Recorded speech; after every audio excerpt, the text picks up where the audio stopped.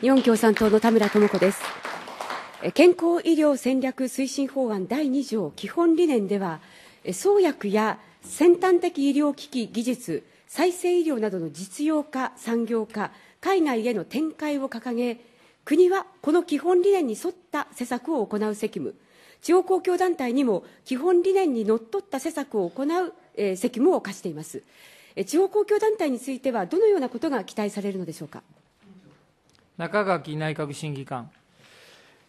今、あの委員ご指摘のとおり、あの健康医療戦略推進法案第4条では、地方公共団体は健康医療に関する先端的先端的研究開発および新産業創出に関し、国との適切な役割分担のもと、地方公共団体が実施すべき施策として、その地方公共団体の区域の特性を生かした自主的な施策を策定し、および実務する。実施する責務を有する旨を記いたしているところでございます。この趣旨でございますけれども、地方公共団体につきましても、国との役割分担をしつつ、健康長寿社会の形成に向けて、当該地域にとって必要な施策を企画立案し、実行に移していくべきであるというこの旨を法案に定めたものでございます。したがって、まあ、法案法案の趣旨を踏まえまして、各地方国団体におきましては、まあ、地域の研究開発でありますとか、産業の状況に応じた特色があるさまざまな取り組みが進められることを期待しているというものでございます田村智子君。推進法8条は、国、地方公共団体、研究機関、医療機関及び事業者の間の連携を図るための施策を講ずることとなっていますが、どのようなものが想定されるのでしょうか。また、これまでの政府の施策で、8条に該当する施策というのはあるのでしょうか。中垣内閣審議官。健康長寿社会の形成に向けましては、施策の実施主体、またはそれに協力する主体でございます国、地方公共団体、研究機関および事業者のそれぞれが相互に連携を図って、施策の効果的な実施を図ることが必要であります。そのため、健康医療戦略推進案では、連携の形で規定しておるところでございます。具体的にでございますけれども、まあ、例えば国、研究機関及び医療機関の連携といたしましては、研究機関における基礎的な研究の成果を医療機関における人を対象とした臨床研究につなぐといったあの国の研究による国の支援によります橋渡し研究でありますとか、地方公共団体、また研究機関及び事業者の連携としては、地方公共団体が間に入って、地方の大学にある研究シーズを地域に根ざした民間企業にて実用化につなげ、地域明日の産業振興を行うと、そういった施策が当たるものと考えているところでございます。田村智子君。これあの、文科省の知的クラスターなども、こういうものに当たるのではないかというふうに思いますが、よろしいでしょうか？文科省が進めている知的クラスター。中垣内閣審議官。はい、あの該当するものと考えております。田村智子君。国と連携したそういう研あの研究に、え地方自治体も、えー、取り組んでいくことになると。じゃ具体的にどういうことが起こるのか。え神戸市は2002年に文科省の知的クラスターに指定をされています。現在、ポートアイランドに理研などライフサイエンス関係の研究機関、企業、先端医療センター等の高度専門病院群などを集めた医療産業都市構築、医療産業都市を、えー、その構築を進めています。これはいわば、今確認をいたしました推進法の、基本理念、あるいは4条、8条を先取りしたものだというふうに考えます。15日に行われた参考人質疑で、兵庫県保健協会の竹村参考人が、ここで何が起きているのかということを具体的に述べられました。神戸市は、医療産業都市の一角に、神戸市立医療センター中央市民病院を移転しました。この病院はもともとポートアイランド内に建設をされていて、阪神・淡路大震災の際に、神戸大橋の損傷による通行止め、周辺の液状化などにより、3次救急機関としての機能、3次救急機関として機能しなかったという痛苦の経験を持っています。それにもかかわらず、さらに海側にわずか1.3キロですが、移転をして新築する。しかも、912床あった病床を700床に減らしてしまいました。多くの市民や医師会が計画段階から強く反対したのは当然のことだと思います。神戸市は移転の理由として、臨床部門の核とするために先端医療センターの隣に移転する必要があるというふうに説明しました。先端医療センターを運営する先端医療振興財団の井村理事長は、中央市民病院の患者などを対象に最先端医療の応用研究を進めている。このためにも、また、救急事態への対応に際しても、市民病院があると便利と語りました。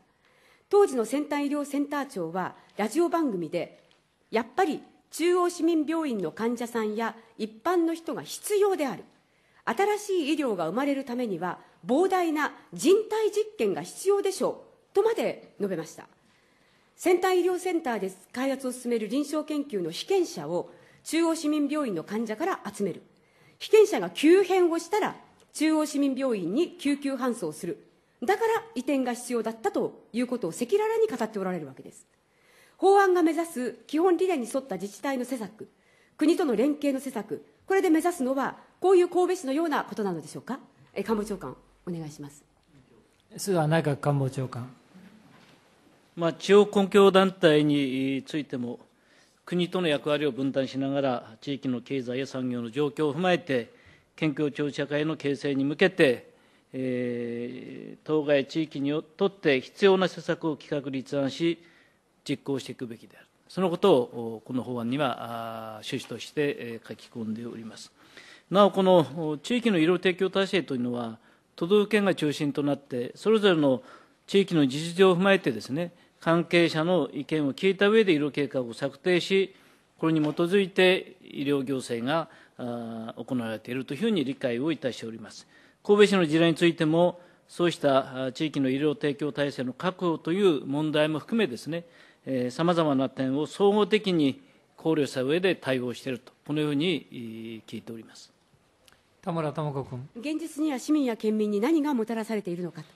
神戸市は382億円の建設費だけでなく、毎年50億円もの市税を病院の運営費として投入をしています。一方で、中央市民病院の二次救急患者の受け入れ停止は、2012年2718時間、これは移転前の2010年の2.7倍にも及びます。市民病院機構の菊池理事長は、病床数が減ったから、救急の受け入れができなくなったと認めておられます。また中央市民病院が担ってきた高度医療も臨床研究レベルの先端的医療以外は受けにくくなっているという声も聞かれます。市民県民への影響はこれにとどまりません。兵庫県立こども病院も2015年に医療産業都市に移転の予定です。子どもの病院をわざわざ液状化や津波被害の恐れがある埋め立て地に移す。しかも周辺はさまざまなウイルスなどを保管する研究機関が集中をしている。周産期センターを持つ中央市民病院の目と鼻の先に総合周産期センターを持つ県立こども病院を移転させる。医療界県民自治体からの疑問や反対がどれだけ出されようとも強引にこうした計画が進められようとしています。神戸市は研究成果を市民にいち早く還元し市民の健康福祉の向上ということを掲げていますが実際には市の中心部からさらに離れた場所に病院が移転をすることで一般患者さんへの利便性は低下をしています。救急医療機能も低下をしています。医療産業都市は地域医療を犠牲にして成り立っているというのがこの神戸の実態だと思うんです。この法案によって同じように結果として地域医療が犠牲になりかねないというふうに危惧をしますが官房長官いかがですか？菅長官。まあ、今申し、先ほど申し上げましたけれども、この地域の医療提供体制というのは、都道府県がですね、まあ、中心となって、地域の事情を踏まえて、地域の皆さんからさまざまな意見を聞きながら、その計画を実行にしているというふうにが基本であります。今、ご指摘をいただいております、この神戸市の市民病院の移転についても、病院の開設であります、この独立行政法人の神戸市民病院機構が、住民をはじめ関係者の皆さんとの意見を聞きながら、また兵庫県とも相談しながら、適切に実行したというふうに聞いております。いずれにしろ、この法案によってですね、えー、地域の医療提供体制について、えー、このような考え方が特段の影響を受けるものではないというふうに考えています。田村智子君。あの中央市民病院の移転もですね1万3000超える市民の反対署名っていうのが集められたんですよ。で医師会もこうした病院の移転には反対ということを言い続けてきた。これでね地域の皆さんの意見聞いていたなんていうのは全然成り立たない議論だというふうに思いますよ。え続けます。推進法第2条の基本理念には先端的医療技術の展開も盛り込まれています。医療機関と医療機器メーカーの海外展開の支援。外国人患者受け入れ支援などを行う、えー、MEJ を、えー、中核とすることが想定をされています。医療機器の国際展開というのが、その利益や成果を日本の国民にも還元をするという仕組み作りとともに行われるということを私も否定はしません。しかし、医師・看護師不足の中で海外に展開するんだとか、外国人か外国の患者さんも受け入れるんだとか、こういうことにはですね疑問を抱かざるを得ません。神戸医療産業都市では、生体肝移植等を行うキフメック、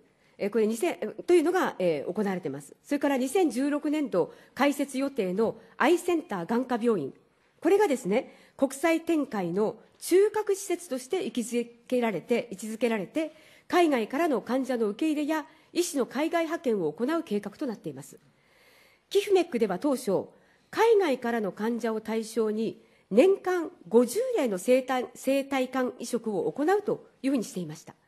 アイセンターでは、iPS 細胞を使った目の網膜の再生医療だけではなくて、日本では保険適用であります白内障や緑内緑内障の手術も行うということが言われています。海外から患者を受け入れた生体肝肝移というのあ移植というのは、えー、臓器移植に関するイスタンブール宣言に抵触する臓器売買のリスクが指摘をされて、えー、兵庫県もですね営利を目的とした生体肝移植を行わないと医療計画に盛り込んだ上で病院を認可せざるを得ませんでした、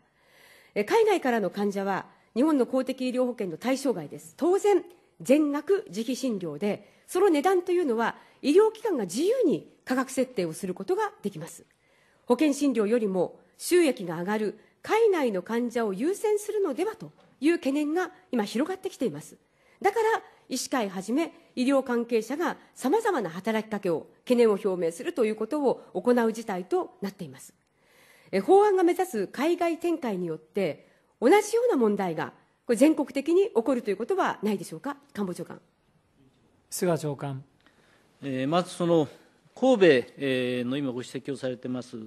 の生体肝移植については現地の医療関係者によりますと国内外の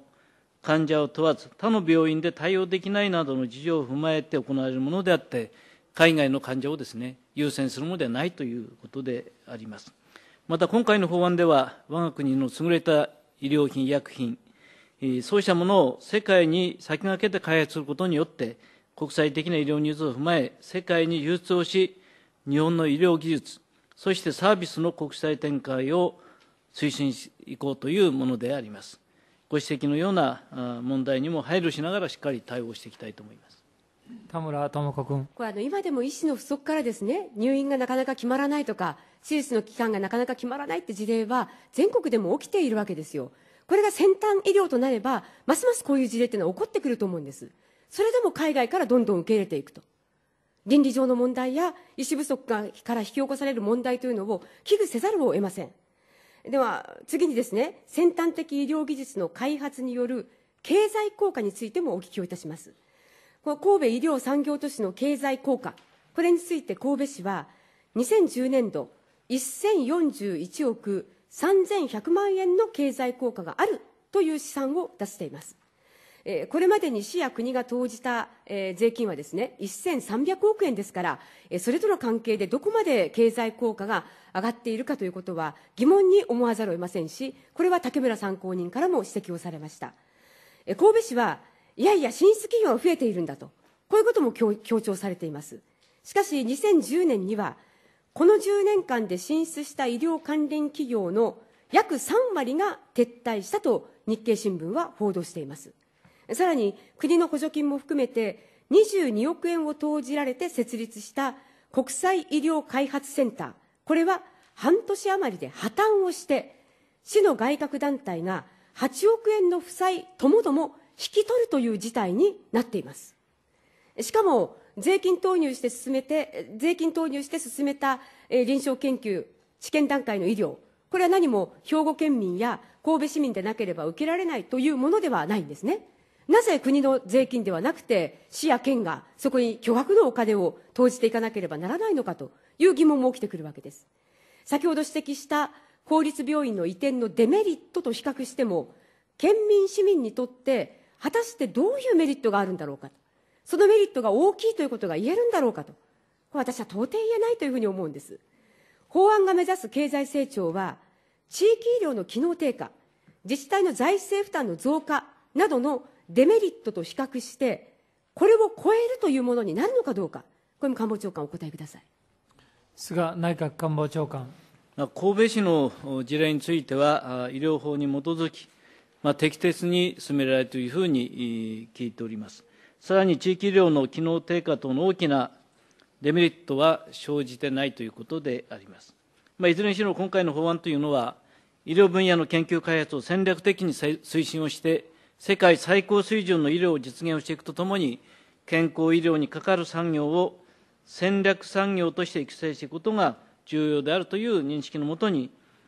推進体制を整備をする、極めて重要なものであるというふうに考えています。田村智子君。現実に起きていることとどあの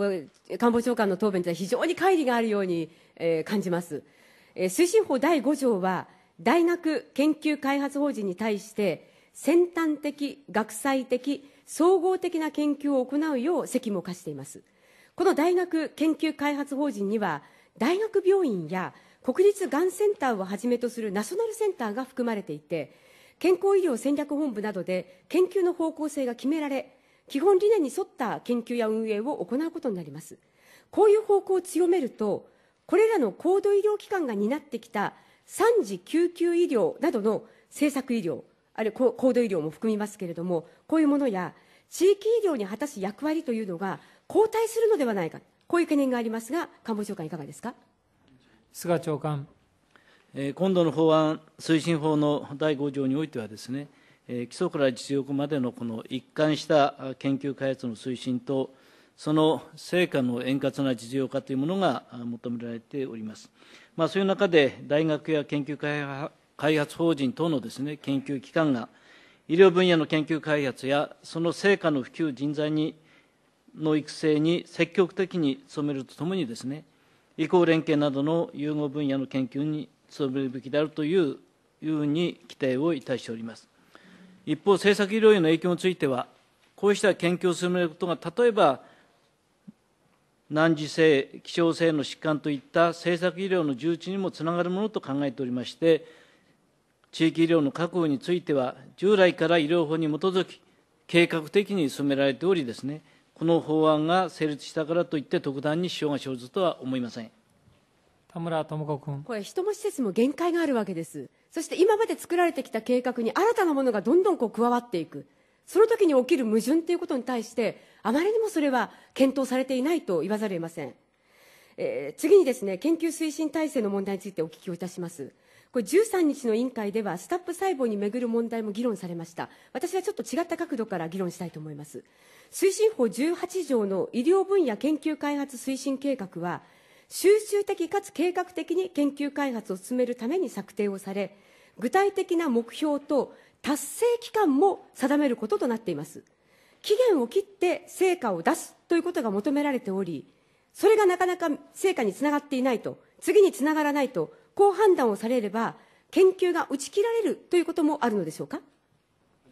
菱山内閣審議官。